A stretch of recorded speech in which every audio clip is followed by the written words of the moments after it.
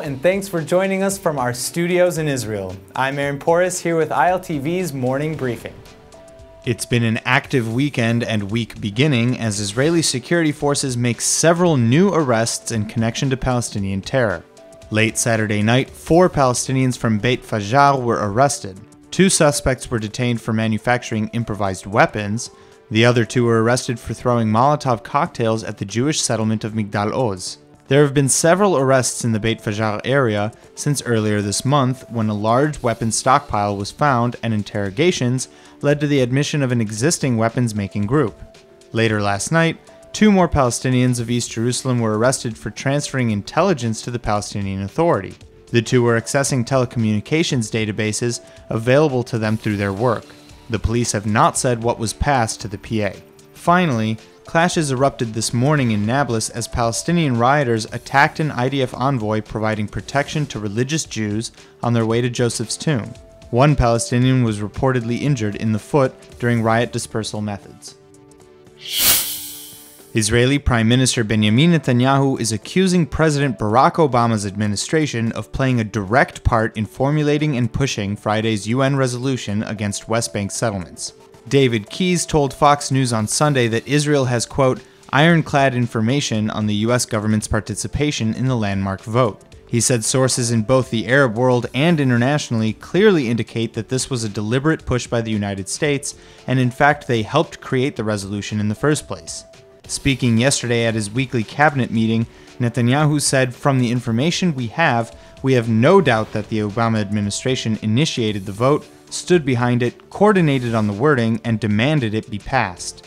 UN Security Council Resolution 2334 was passed by a 14 0 vote after the United States, in a rare and momentous step, abstained on the vote. The abstention enabled the adoption of the first UN resolution since 1979 to condemn Israel over its settlement policy. Netanyahu said that the United States' actions at the UN were in complete contradiction to the traditional American policy that was committed to not trying to dictate terms for a permanent agreement. Last night, he held a 40 minute meeting with U.S. Ambassador to Israel Dan Shapiro for clarifications on the issue.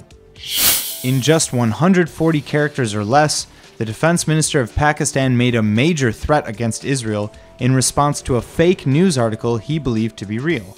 Pakistani Defense Minister Khawaja Muhammad Asif made the response acting against an alleged Israeli comment by former Defense Minister Moshe Ya'alon. The supposed Ya'alon comment was regarding presumptive Pakistani interference in Syria against ISIS. Khawaja tweeted that Israel should remember that Pakistan is a nuclear state too.